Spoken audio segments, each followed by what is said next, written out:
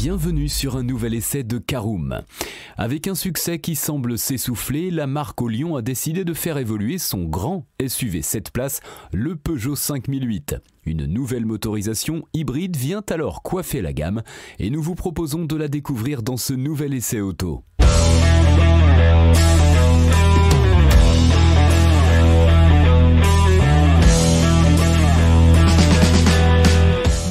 Bienvenue pour un nouvel épisode des essais de Caroom. Chaque mercredi, on vous partage nos expériences, avis et notes sur les modèles que nous essayons pour répondre au mieux à vos besoins sur l'automobile. Caroom, c'est un comparateur de voitures neuves, d'occasion et de leasing, mais aussi un guide d'achat qui vous accompagne et vous conseille dans toutes vos démarches automobiles. Bonjour à tous et ravi de vous retrouver cette semaine pour un nouvel essai consacré au Peugeot 5008.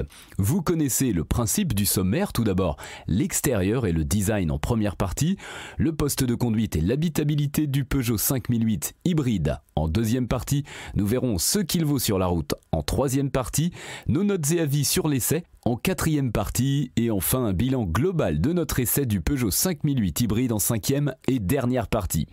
Alors Peugeot dote son SUV familial, le 5008, d'une nouvelle motorisation hybride qui vient s'installer au sommet de la gamme.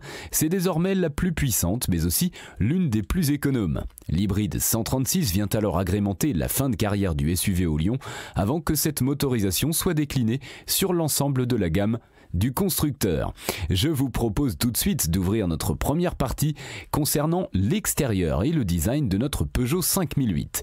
Lorsque l'on redécouvre le Peugeot 5008, on apprécie un véhicule restylé en 2020 mais sur lequel les années n'ont pas encore de poids. En effet, le SUV familial 5 à 7 places joue habilement avec l'agressivité, avec ses dents de lion comme signature lumineuse, mais il sait aussi être chic avec ses chromes, ses jantes en alliage diamanté de 18 pouces et son toit contrastant noir dans cette version GT qui revêt une teinte bleu célébesse. Allez, on ouvre notre deuxième partie, passons au poste de conduite et l'habitabilité de notre Peugeot 5008 hybride. L'habitacle du Peugeot 5008 mérite de s'y attarder un instant en effet, puisque le SUV est un véhicule à vivre à plusieurs. En effet, il permet d'accueillir 5 ou 7 personnes confortablement, à condition de ne pas être trop grand pour la troisième rangée de sièges. Le coffre peut accueillir vos bagages avec un volume allant de 780 litres dans sa version 5 places jusqu'à 166 litres lorsque la dernière rangée de sièges est dépliée. Toutefois, la planche de bord peut constituer une déception.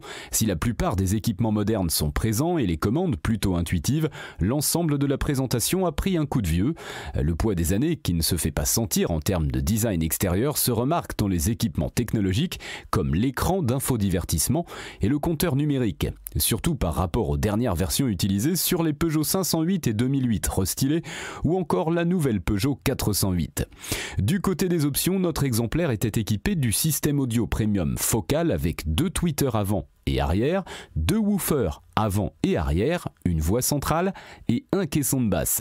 Cet équipement comprenait également le vitrage acoustique avant ainsi que le haillon électrique. De quoi venir accroître l'équipement de série comprenant une climatisation automatique bizone, l'accès et démarrage main libre ou encore le pack Drive Assist avec régulateur de vitesse adaptatif.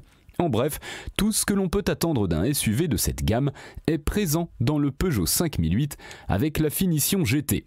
Voyons maintenant ce que vaut notre Peugeot 5008 sur la route, c'est notre troisième partie.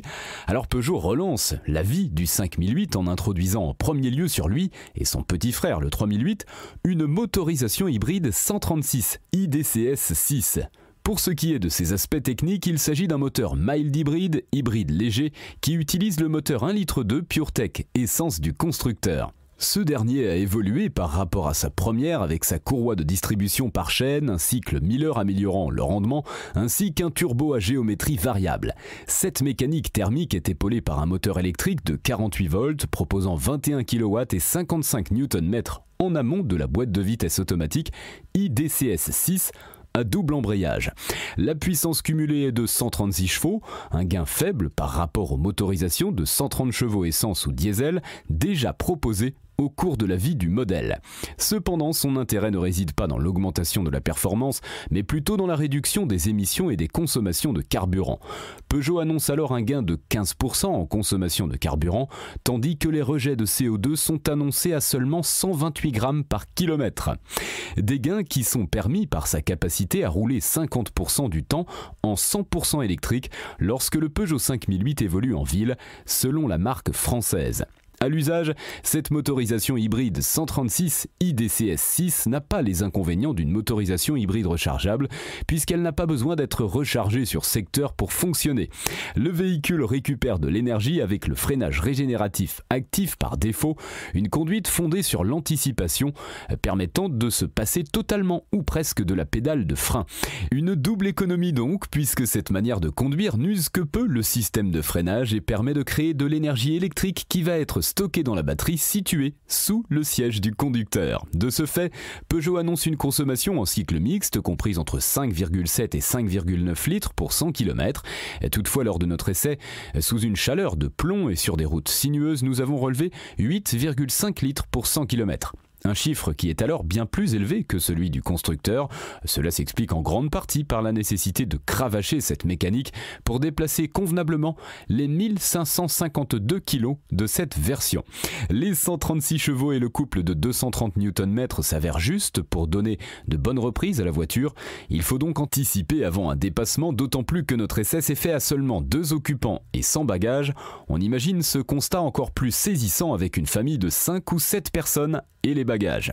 Il est alors certain que cette motorisation a plus de sens en ville, où l'apport du moteur électrique est intéressant lors d'une circulation ralentie avec de nombreux démarrages, d'autant plus que la boîte automatique IDCS 6 se montre douce et ne secoue pas les passagers.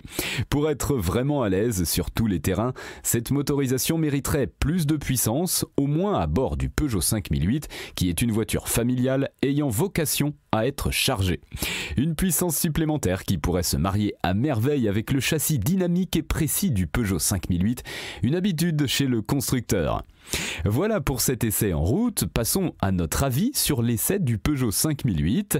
Voyons ce que l'on aime tout d'abord, le style encore actuel, l'habitacle et le coffre spacieux, boîte automatique douce ou encore le châssis dynamique et confortable.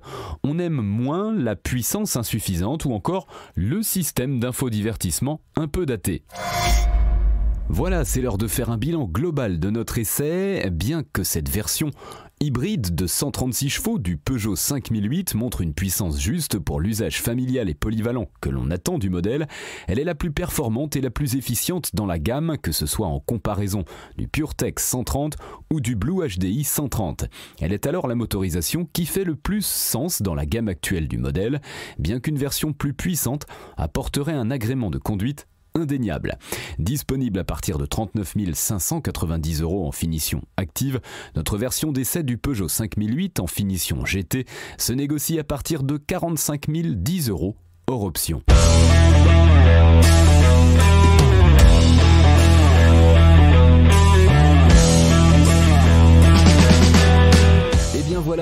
En a fini pour cet essai. Si vous souhaitez avoir davantage d'informations, n'hésitez pas à aller lire l'article en entier. On a mis le lien dans la description plus quelques bonus. Vous pouvez également le retrouver en tapant Caroom Peugeot 5008 hybride sur Google.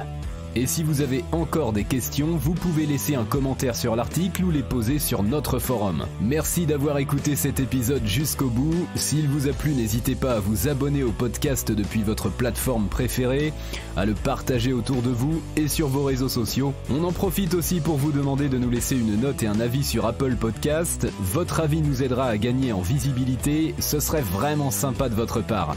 Si vous souhaitez vous renseigner davantage pour l'achat d'une voiture neuve ou d'occasion, ou que vous voulez encore plus de conseils et de bons plans, rendez-vous sur www.caroom.fr. Si vous avez encore des questions, des remarques ou des recommandations, n'hésitez pas à nous contacter sur nos réseaux sociaux. Merci encore et à mercredi prochain pour un nouvel essai du podcast de Caroom.